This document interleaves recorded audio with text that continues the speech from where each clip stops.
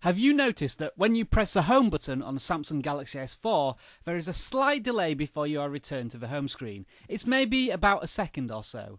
Well, I'm sure if you hadn't noticed before, you will now I've told you. The reason there is a slight delay is because the phone is waiting a little bit to see if you press the home button again. This is because if you double tap on the home button, it launches the S Voice application. So, if you would prefer to have a quicker home button response time rather than immediate S Voice access, go to the settings in S Voice and untick the Open via Home Key option.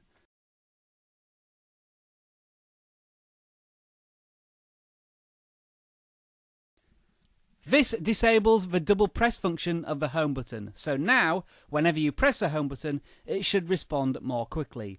It's only a small performance increase, but over the course of a couple of years, just imagine how many times you are going to press that button.